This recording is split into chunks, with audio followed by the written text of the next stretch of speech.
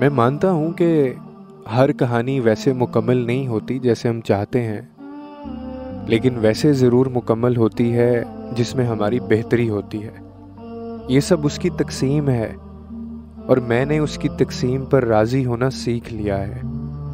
हर चीज़ का वक्त मुकर्र है, हर चीज़ अपने वक्त पर रोनमा होती है। फिर चाहे आप कितनी ही कोशिश क्यों ना करें, नसीब से कितना ही क्यों ना लड़ें। अल्लाह के मुकर करदा वक्त से पहले कोई वाक़ रोनमा नहीं होता और ना ही हो सकता है।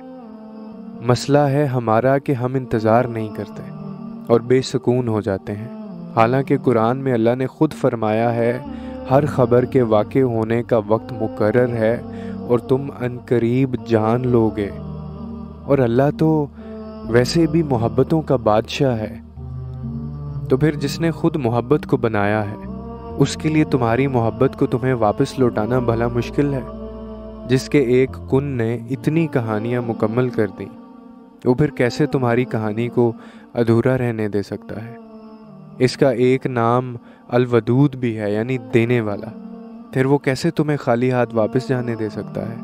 जो बेजुबान चूंटी की खामोशी भी नज़रअंदाज नहीं करता, वो तुम्हारी हिचकियाँ लेती हुई आवाज़ को कैसे नहीं सुनेगा? बस वही तो सुनता है और वही सुनेगा। जब जब तुम्हें कोई ख्वाहिश नामुमकिन सी लगने लगे और नाउमीद होने लगो तो सब्र करना। मुश्किल हो जाए तो याद रखना जो तुम्हें नामुमकिन लग रहा है, उसके लिए मुमकिन है। ना उम्मीद, ना हो, यही तो सब्र करना है। यही तो उसके कुन पर कामिल यकीन रखना है। यही तो आजमाइश है तुम्हारे सब्र की। अगर उसने ये ख्वाहिश पूरी ना करनी होती तो दिल से इसका ख्याल भी निकाल देता। मगर इस ख्वाहिश का बार बार याद आना इसलिए तो है कि तुम मांगते रहो उससे, और वो एक रोज़ इस नामुमकिन को मुमकिन कर देगा। तुम्हारा अधूरा ख्वाब मुकम्मल कर देगा। एक रोज़ तुम्हारी आँखें दुआओं की कबूलियत को देखेंगी। यकीन रखो उस पर।